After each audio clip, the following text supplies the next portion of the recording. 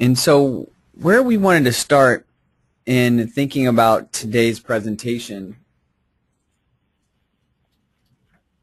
mostly stems from how many folks have come to us and talked about what are the regulatory environments that I should be concerned about as a practicing clinician, psychiatrist, um, therapist, whatever your specialization may be, what are the areas that I should be worrying about on a regular basis and be proactive about in order to make sure that I have a compliant practice? There's so many people that have come and talked to us at Valant and at my clinic the Evidence-Based Treatment Centers of Seattle that have explained that there's certain criteria in certain areas of their practice that they really do lose sleep over. And this may resonate with you in terms of thinking about uh, ways that could potentially compromise your practice um, and making sure that you are anticipating in a proactive way what those areas are um, so you have a plan in place uh, to ensure the security and safety of your day-to-day -day operations. So by the end of the webinar today, we really want uh, all of you to be able to leave with a better understanding of the legal and regulatory environmental impacts that it could affect your practice, really identifying the associated risks. We'll talk about doing uh, personal risk assessments of your practice and the different types of business structures that those risk assessments could impact or influence. And also review some of the HIPAA policies and procedures in private behavioral health care practice. And we're lucky enough to have Kate Brod with us today, and she'll be sharing some of her expert opinions in terms of what those HIPAA policies and procedures need to be in order to increase the level of security of your practice. So first, let's start off at a very high level in terms of how your company will be structured and what some of the pros and cons are of each of the options. Um, at the sole proprietorship level, it's clear that most of the advantages are that there is very easy to create. You have complete control and there's easy tax preparation. But the biggest dis disadvantage in terms of why people may not go in the direction of a sole proprietorship is because there you don't have the corporate veil, if you will, in terms of protecting um, any kind of lawsuit from coming after your personal assets. So you are able to secure yourself in other corporate structures um, by having uh, a level of protection and a blanket that's that separates you from um, any source that may be pursuing any kind of money from your business that they cannot come after your personal assets um, which creates a, a, huge disadvantage for the sole proprietorship wing. For the general, general partnership, it's similar to the sole proprietorship. However, it's multiple um, folks that are going to be owning the practice. And then we jump over into the limited liability company, which starts um, with creating a corporate veil to make sure that, um, you know, although there, there's similar advantages in terms of owners, tax flexibility, less record keeping, and sharing of profits, um, the biggest advantage is that you will have protection in terms of any lawsuit that's coming towards your direction um, to prevent them from coming after any personal assets that you have. Um, there are self-employment taxes and uh, some role confusion complications that are also involved with limited liability companies compared to sole proprietorships and partnerships. Um, but again, you do have that corporate veil as an LLC. And likewise for the corporation, um, you have the corporate veil, but you have it's a little bit more expensive to form, and it does give you the option to create a, a share structure um, for different employees if you'd like, um, and it also will give you some tax-free benefits along the way. So in terms of running your practice uh, on the day-to-day -day operations side, it's very clear that um, that you have a disclosure statement, HIPAA statement, and fee agreement that you are expecting all of your clients to sign at the point that they start treatment with you. The, the disclosure statement really helps uh, highlight at a high level highlight the information that your patients need to be aware of when pursuing treatment with you and gives you an opportunity to set expectations right from the beginning. What we know in working with our clients and working um, with difficult clients is that if you don't have those clear expectations set and you introduce a new variable to them later on after the course of treatment has started, that um, oftentimes folks will get dysregulated and it'll create tension um, between the business and the client, potentially disrupt the rapport that you have with them, um, and create tension downstream.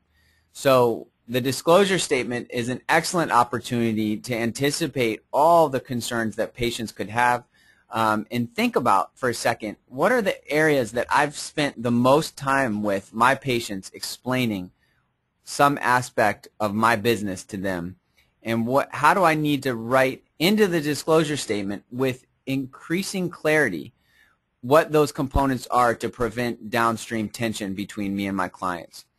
So the, the clarifying treatment being provided, outlined according to state law, um, disclosure regarding whether treatment provider is under supervision, reiterate various components of fee agreement, outcome measures being a part of treatment.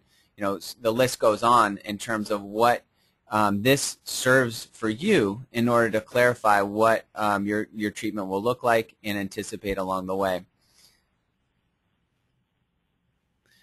Similar with the fee agreements, and I've seen folks with fee agreements actually um, double down, if you will, in terms of being able to put fee agreement information not only in a separate fee agreement, but also in the disclosure statement. So if you have a policy about cancellations, that you put that information into the fee agreement where the clients will be able to see it, but you also put it in the disclosure statement. The disclosure statement sections for cancellations, for example, if you do have a 24-hour cancellation policy and somebody is calling and saying that they can't make it in because they're sick or because of inclement weather or because of traffic or whatever it may be, and potentially come at you and say, how could you not be compassionate towards me and my situation um, when I have this, this cancellation that is clearly justified? What are the ways that you can have your disclosure statement anticipate those calls and clearly outline and stipulate the fact that you um, have to make a business decision at a certain point in running your practice. If you put the cancellation policy in the disclosure statement, have a separate section within the disclosure statement that they actually have to initial. So, you know, not just one signature at the end of the entire disclosure statement, but a cancellation section that they clearly have to initial so you know that they paid extra attention to what that cancellation policy is. We're in effect increasing their awareness of this cancellation policy. Hopefully they're going to recall it and maybe they won't call you and complain about your cancellation policy or ask for an exception because you so clearly stipulated that information directly in the disclosure statement. Likewise, in the fee agreement, you'll be reiterating it here, really driving it home, making sure that they have a clear understanding of what it is.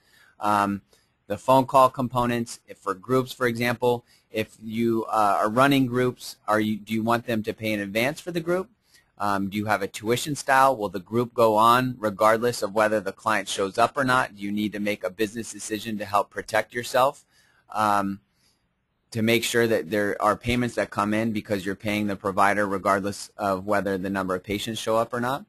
Um, all those components should be put in clear language in the fee agreement so they can clearly understand what um, your company's policies are, have an opportunity to ask and clarify during their intake, and um, be able to go from there in terms of following up with any questions or concerns that they have.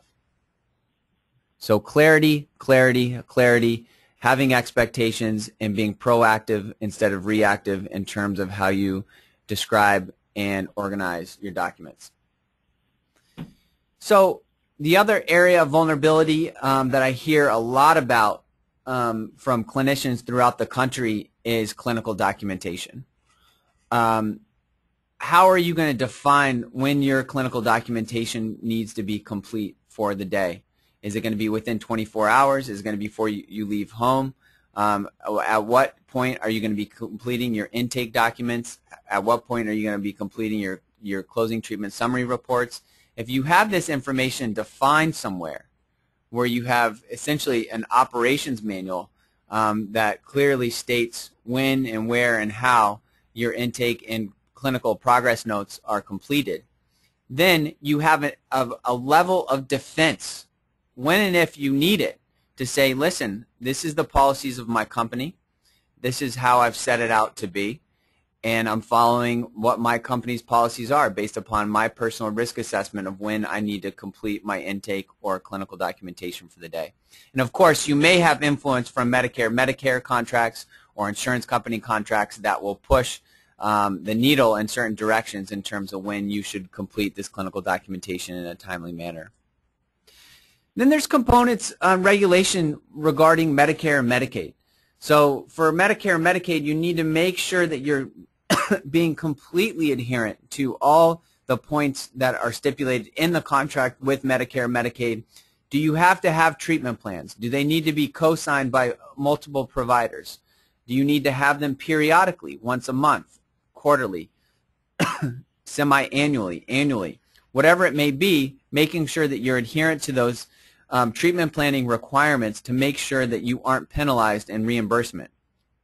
Do you qualify for any meaningful use criteria? Could you get any of the incentive money that is out there for Medicare and Medicaid uh, providers? Um, right now, there's a significant amount of money available for prescribers and some nurse practitioners who are contracted for Medicaid, uh, where you can actually qualify for the incentive money but it's really a carrot and stick approach, and we'll get to that a little bit later uh, in terms of making sure that A, you're entering the meaningful use criteria for Medicare, Medicaid, and B, if you don't, um, then you will be penalized and have a lower reimbursement. And then being mindful of the correct coding and billing. And as we've seen, um, for example, for Medicare and Medicaid and different insurance companies, uh, for psychiatrists who are billing 99214s or 99215s. Uh, there's a high frequency of audits that are occurring throughout the country. Um, and likewise for therapists who are billing 90837s and 90834s, um, you know, there's an opportunity and potential for audits to occur and to justify why you coded a session the way that you did. And for folks who are not contracted with Medicare, have you successfully opted out? Have you reached out to Medicare and opted out as a provider? Do you ask in your intake with your clients whether they're contracted with Medicare? Um, uh, most of you probably are already aware that if you see a Medicare client and you have opted out and they come to see you, then they need to fill out documentation that needs to go back to Medicare to make sure that they understand that they're not going to be receiving benefits through your company and they're foregoing their Medicare benefits in order to seek services with you. So that's an important component that each practice needs to be mindful of in terms of making sure that they've completed the documentation required for opting out for Medicare patients. So why do we talk about all this? HIPAA statements, fee agreements, disclosure statements, when to complete clinical documentation. These are all the highest point of vulnerability of day-to-day operations of any practice within the country for behavioral health care. So what are the most common categories for lawsuits? Cases related to children, um, any uh, situations that involve suicide, and any evaluations that are done, consultations or professional evaluations in terms of what people are qualified to do or not. Now, all of those um, are heavily influenced in terms of whether the lawsuit is won or not lost based upon whether clinical documentation is completed. The most common reason for a lawsuit to be won or lost is whether clinical documentation has been completed or not. It creates a tremendous amount of vulnerability for a practice to not have support for why uh, certain actions were taken throughout the course of treatment and we've seen time and time again through case law um, that clinical documentation is the number one reason for why these cases are won or lost. And this is according to um, the biggest behavioral health care malpractice uh, providers throughout the country that have shared this information with us. So what's the standard coverage um, for malpractice to make sure that we have the adequate amount of coverage? And it's typically a million dollars for the provider, and if you have a group practice, having it be three million for the group.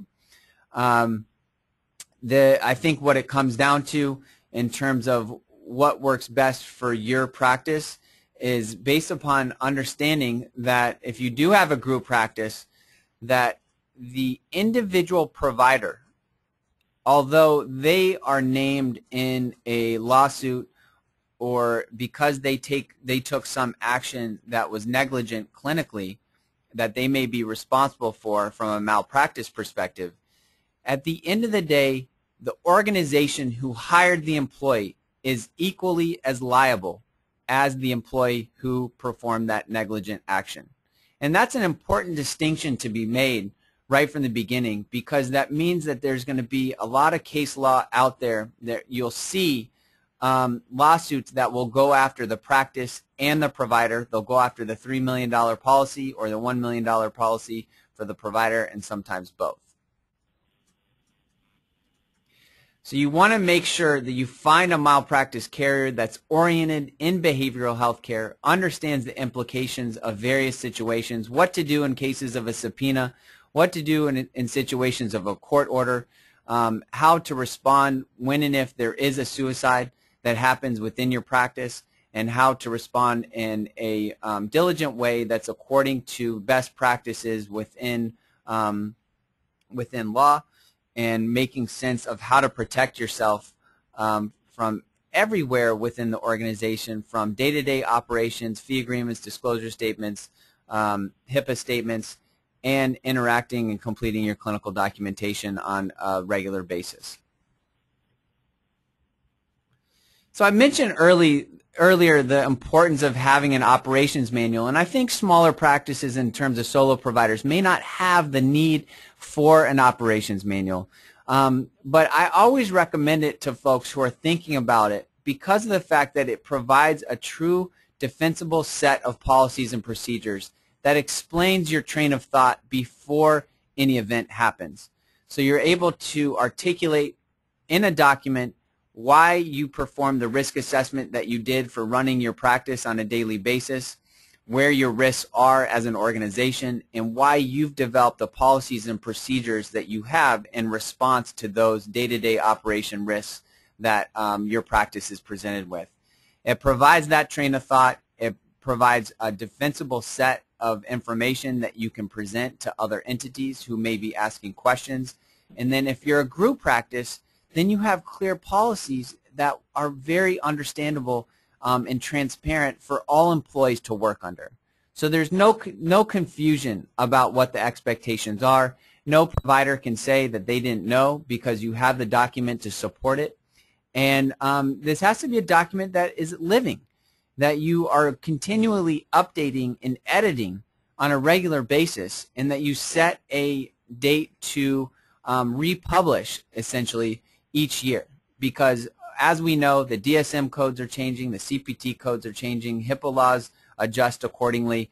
Um, and as the regulatory environment adjusts, your practice needs to adjust. You need to continually be doing your own personal risk assessment of your practice um, and make sense of it to the point where your policies and procedures reflect it and stay current. So what are the regulations impacts? And I think that we also mentioned this earlier in terms of the carrot and stick approach for meaningful use requirements. They really are having the incentive money as being the carrot, right? So you need to enter this information um, into an electronic medical record and complete all the, the data requirements in order to receive your meaningful use stimulus money. And if you don't, then you're going to be penalized.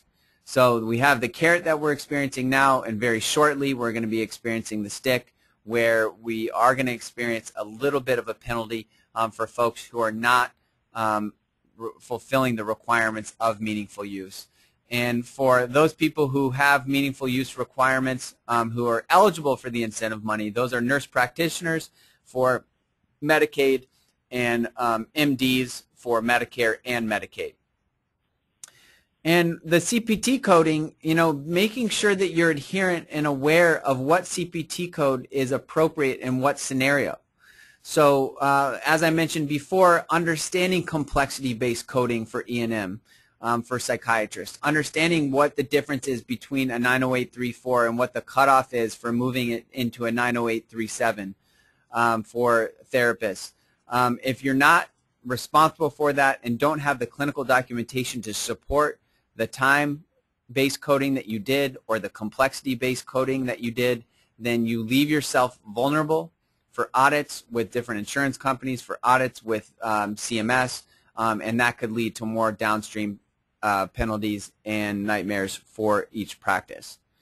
And then the DSM-5 and ICD-10, making sure that you're educated and aware of the changes that are coming down the pike and that you're using the most adherent uh, DSM-5 and ICD-10 code that is relevant for your session. Um, and there's a lot of literature out there and a lot of material that people are sharing, um, but be proactive rather than reactive about it because it's another point of vulnerability in terms of responding to the regulatory environment. So uh, we've also received a, a, tremendous number of questions um, about the Affordable Care Act and what are the implications to behavioral health care providers and how to make sense of all the changes that have occurred through the Affordable Care Act. And what we've come to find is a couple things. First, it's, it's interesting to point out that CMS uh, is really publishing a lot of information about how um, expensive um, healthcare is in America, right? This is the whole reason why the Affordable Care Act kind of started in, in the beginning. And they published a lot of information about the cost of, of blood pressure, of people who have hypertension, of folks who have diabetes in America. Um, and right shortly thereafter, they also started publishing a lot of information about how behavioral health care is one of the biggest modifiers for the number of people in America who have hypertension and who have diabetes. And um, so there's been a big push to actually recognize at that federal level the importance of, of making sure that we have uh, the right treatment and the right reimbursement and the right incentive for behavioral health care providers to, pro to be able to provide behavioral health care treatment. Um, and we all know that parity was established a long time ago, but um, there are still entities that are out there that really aren't paying attention to parity um, and some people that aren't necessarily providing the same amount of reimbursement for behavioral health care as they are for primary care providers. Um, and just this year, the DSM-5, for the first time, any DSM manual um, has actually gone as far as saying um, that there needs to be a PHQ-9 that's used for outcome measures on a regular basis. So I'm going to I'm going to connect those two in just a second. What has occurred because of the the push for um, seeing that behavioral health care is a modifier for hypertension and for diabetes, two of the highest costs of the healthcare system in America, is that they know that it's for CMS that you have um, for diabetes, you get your blood glucose levels checked periodically and are able to assess um, exactly whether the treatment being provided is working, is effective, or whether you need to tweak it as a primary care provider. And likewise for hypertension that you're getting your blood pressure checked on a regular basis. CMS wants and, and, and also um, commercial insurance companies also want a similar approach, an evidence-based care approach to having some source of standardized measure that can be used to assess whether treatment in behavioral health care is working or not. They want a higher level of accountability for people to have an understanding to communicate whether the treatment is effective. So when I mentioned that the DSM-5 actually published um, that, hey, the PHQ-9 should be the recommended standardized outcome measure for assessing depression, it's because of the amazing push that they're doing um, to get people to really start using um, outcome measures on a regular basis. And we're also hearing from a lot of clients that they're using these outcome measures and successfully negotiating reimbursement rates with insurance companies as a result of using the outcome measures on a regular basis. Um, and the outcome measure you know, world in terms of having different outcome measures for different diagnostic categories in the DSM-5 is being adopted at a much significant higher rate as a result of the um, influence of CMS and the information that's in the DSM-5 and renegotiating insurance contracts with insurance providers. So it's just an interesting editorial in terms of the implications of the Affordable Care Act and ways in which um, we as providers can look at how to adjust our day-to-day operations um, to make sure that we are adherent to what those requirements are going to be coming down the pike. And I anticipate seeing a lot more um, a lot more discussion about other standardized outcome measures that can be used to really be able to better understand whether somebody is improving or not throughout the course of behavioral health care treatment. And then compliance, um, making sure that we have compliance and completion in in um, a timely manner, and provider-driven content reported to funding sources. Example being a treatment plan. So when I think about um, policies and procedures, I mentioned this earlier, and from a HIPAA standpoint, you really have to do your own risk assessment. Everybody's responsible based upon HIPAA to perform their own risk assessment and understand the implications of different components of running your practice, which may be specifically unique to you.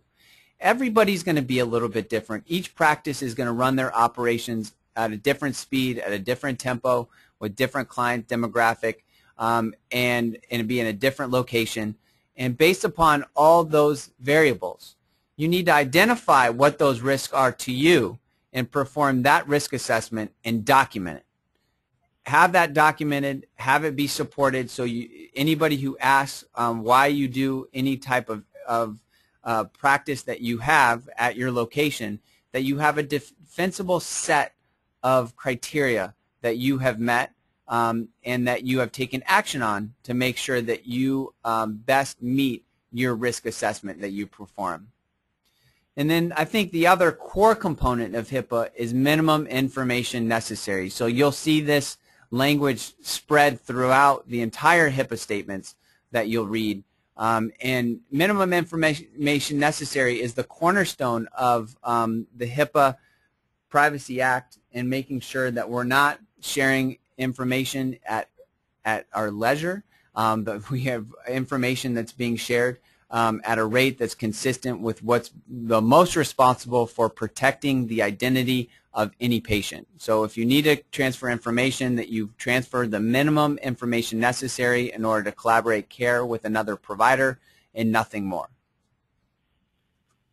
And then for PHI security, server backup, web-based, make sure that you have standard safeguards and that you abide by all the CFR regulations and that the structural design in terms of a, a secure workplace has um, a workflow that will minimize the HIPAA com compliance concerns that any practice may experience on a day-to-day -day basis. So how can you set up structurally your business? Do you have certain desk notes that you would like to be able to store behind um, the, the front desk?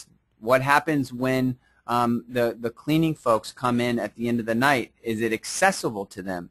Um, do you have filing cabinets that you may need to store confidential information in? Do you have a secure HIPAA gate that actually encloses that information and has a different key to prevent folks from being able to go into it? These are areas of structural design um, that you can set up that also include how your computer screens are being seen, whether your um, waiting rooms have a HIPAA glass window that closes or opens to prevent any anybody in the waiting room from being able to hear any conversations that occur in the office. These are all a part of your own risk assessment that need to be discussed on a daily basis. Um, not daily basis, but be thought about on a daily basis and reviewed at least yearly.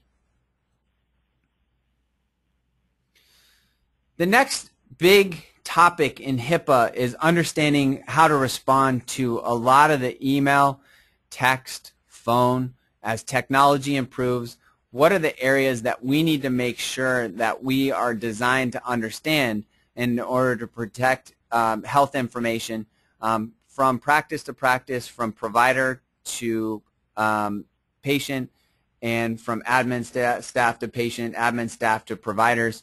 Um, and what we see for email is that you know it's really recommended to make sure that you have a secure email platform that will allow you to send a secure email to a client. That's number one, highest recommendation from any malpractice provider um, out there in the country. if you don't have access to a secure system or aren't able to buy it, that you at least have disclosure in your disclosure statement saying that the patient understands the implications of sending a insecure email and that they had the opportunity to ask any questions about that insecure email and that they are okay with the potential ramifications of sending email insecurely. So that's a big area to think about. And I think um, people oftentimes that we come across will, won't necessarily think about um, email as being discoverable because they don't think that it's quote unquote a part of the clinical chart. This is a very big misconception in the community because email, texts um, are is data that the client has, that other providers potentially have, and if you don't, if it's defined in the court order that they are expected, that the provider is expected to provide the entire clinical chart, including any client communication, and you don't supply that email that you sent that has clinical implications or supply a text message that you sent, but the patient does supply the email and does supply the text message, then there's points of vulnerability there that you provided information that's different than the patient did for the legal proceedings. Um, and so that's an example where you could get yourself into a pickle in terms of not um, providing all the information that is required and know that everything is discoverable in the eyes of the law. If, if it's required by a court to receive the information, you have to abide by it and make sure that um, you're supplying that information. Some folks think that psychotherapy notes um, don't necessarily need to be a part of the chart. There are components of a HIPAA statement that um, outline what it means to have psychotherapy notes be in a different section. But we've seen in certain cases that if a judge asks for the psychotherapy notes, that it is discoverable information. So that's something worth pointing out along the way. And then phone calls and text messages, as I mentioned earlier, making sure that you're doing the clinical documentation for this. And as you talk to a client and you provide any kind of um, quick tips or coaching or do any med management um, selections when you're out of office, that there is a requirement to make sure that you're doing the clinical documentation that's attached to that phone call and making sure that you have that text message that you remember to figure out how to get it into the clinical chart and have it be a part of their official patient chart. Telehealth. So telehealth has been um, increasingly popular over the last couple years uh, for all the right reasons. And um, the tendency for folks to go to Skype rather than using a secure platform has also increased. Um, but what we're seeing is that, to be clear, Skype is not uh, a HIPAA compliant application. Um, that again, patients need to understand if there is um, if there is a need to use Skype um, to make sure that they're understanding the risks associated with it. That is an insecure application, um, and that that's also provided in the disclosure statement. There are a number of telehealth companies that are now offering services that are very qualified, very um, thorough. Their, their processes make it very easy for the patient to engage, for the provider who may not be tech savvy to initiate treatment in that way um, and those are all encrypted video conferencing platforms. Um, and making sure that they're encrypted is the key word. Encryption is key. Um, and making sure that the information that's being um, transferred from different locations is secure. The other area to point out along the way is licensure when you are doing telehealth and if you're providing telehealth to a, a, patient in a different state that you are sensitive to what licensure may or may not be needed as you provide that treatment in a different state that jumps into a different jurisdiction. So now I want to jump over into understanding what a breach is um, on, on, on the HIPAA side of the coin. And I want to bring in Kate Brod, who has significant experience in terms of understanding the implications of making any kind of HIPAA breach um, because um, how you respond to a HIPAA breach will really define and help along the way um, how different entities will respond to you in terms of your risk assessment that you provided. And they'll either be reassured and confident about your explanation or they'll be um, very concerned along the way.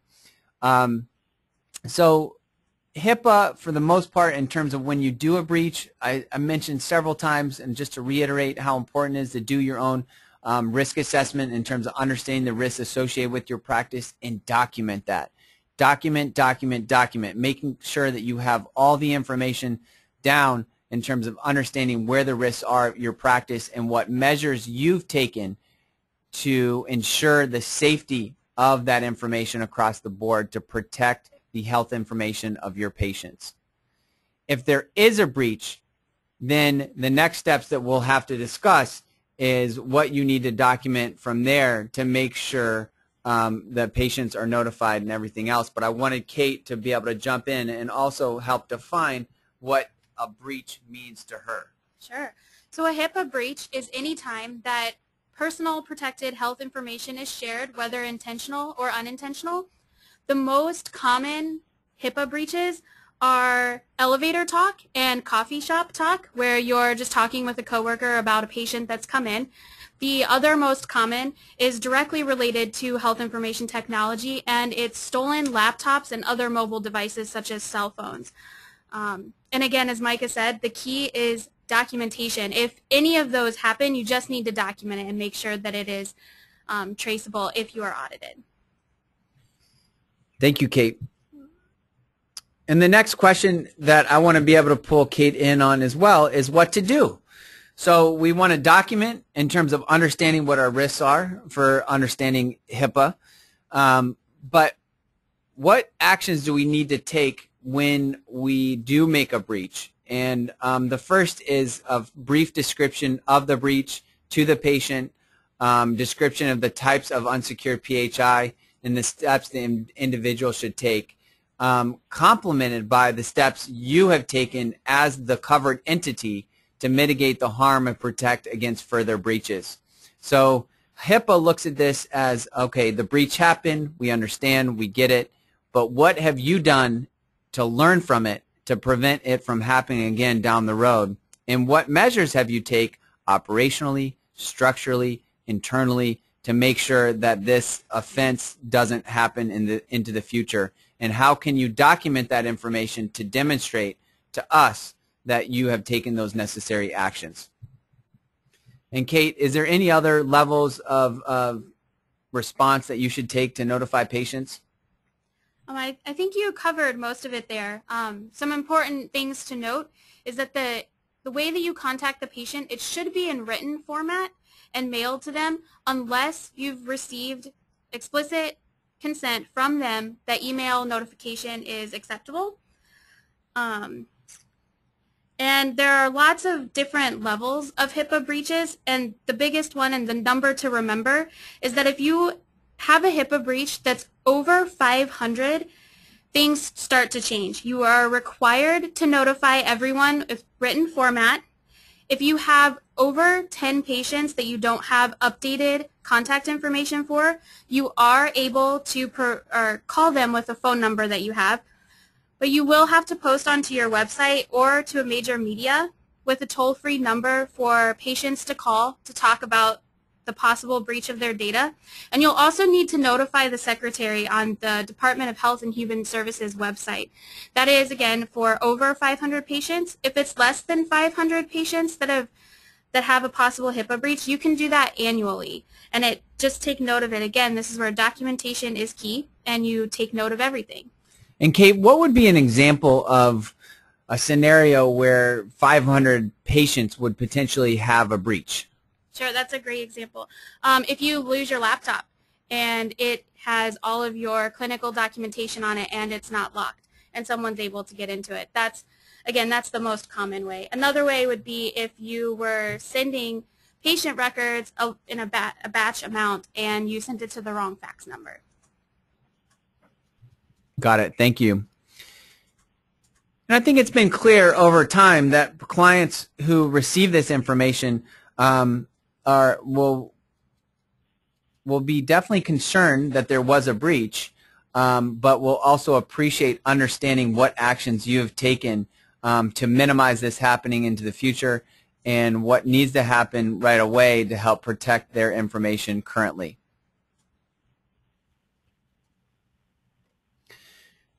So on the question side, um, in terms of contacting your professional limited uh, professional liability carrier, um, you can contact them. Um, I think that there's a lot of different sources out there in terms of different liability carriers that you can use. Again, I would really recommend finding one that is very behavioral healthcare oriented, that understands uh, what actions you need to take to put into place from an operations perspective um, and a, from a structural perspective uh, in terms of preventing uh, HIPAA regulatory HIPAA statement, fee agreement, disclosure statement issues from cropping up. Because they've seen it time and time again, they, they can share so much uh, wealth of information uh, to make sure that there's clarity about what actions you need to take as a provider and learn from all the other mistakes that any other provider has experienced. And then um, the question of can I contact patients by phone if there's an imminent risk at their if that their PHI will be misused. Uh, Kate, do you want to take that? Sure. Yeah, so again, it's best to contact them in written format. It should be first class mail unless you have written consent that the patient is okay receiving notification through email. Great, and I think we discussed what notice must I give breach to affect over 500 patients, but the last question of what if the breach involves PHI of minors, incapacitated patients, or deceased patients? Sure. So in the case of minors, it always goes to the parents, the guardian, or the persons that, that are acting as the parent, unless the minor seeks the treatment without the parent's consent. In that case, then the minor is considered a patient and the individual responsible for their own HIPAA rights. Um, incapacitated patients, the person who makes all of the healthcare decisions is responsible for uh, being notified of misuse of PHI. And for the deceased, it is set to go to the next of kin. Um, and again, that's by first class mail unless there's written permission to get things electronically. Great. Thank you, Kate. So we've received, uh, that, that concludes our um, presentation for today, um, but there have been several questions that have come in uh, the first one is, uh, is the HIPAA notice the right place to address our practices policies regarding email and their lack of encryption? Um, and I think that the HIPAA notice as well as the disclosure statement um, are the two places that that should be oriented, and I, I don't think it's bad um, to be able to put it in both. And um, for email, in terms of the disclosure statement, for them to be able to, as I mentioned earlier, in terms of not having one signature at the bottom of your disclosure statement, but having the opportunity to put multiple signatures throughout the document to make sure that they read through the areas that are the most sensitive to you in your practice.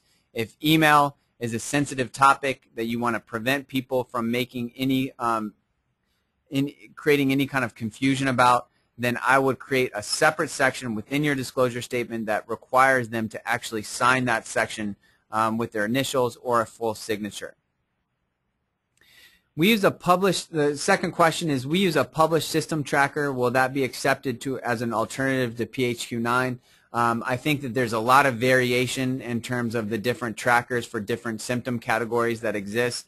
Um, when, when you say accepted as an alternative to PHQ-9, you would have to contact your insurance company or your uh, CMS provider um, to have clarity about, okay, you expect me to use standardized outcome measures. What do you expect me to officially use in anticipation of the requirements that are coming down the pike?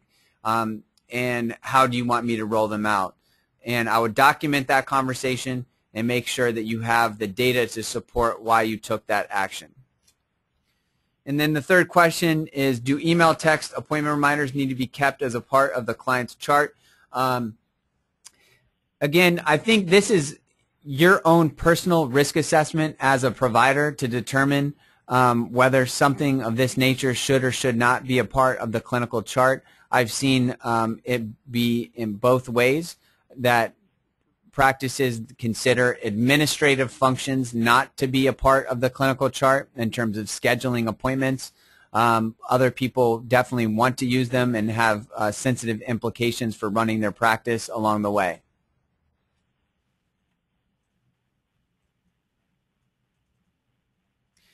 And then, Kate, do you want to take the last question? Sure. The question is, must notification be published if the breach is over 500? And that is accurate. It must be published, and it must be published to local media where most of the patients that were affected uh, will be able to see that. And then, again, it has to be reported on the Department of Health and Human Services website, and that's hhs.gov. Great. Thank you, Kate. And let's see, are there any other questions that are coming in? It looks like one more question is being posted. Um, and again, you can post directly through the webinar, um, and we get them as they come in. So what types of secure email platforms have been successful? Um, I know that there's a lot of electronic medical records that actually have secure email platforms baked into them. Um, so I think that a good idea would be to start with your EMR provider to understand exactly what, what's possible for um, secure messaging. And most systems actually don't call it um, email per se, but actually refer to it as secure messaging between um, platforms um, to make sure that clients are able to access the information um, and respond directly to them. Um, and then aside from EMR systems, I know that there are several secure email systems that exist independently of, of EMRs.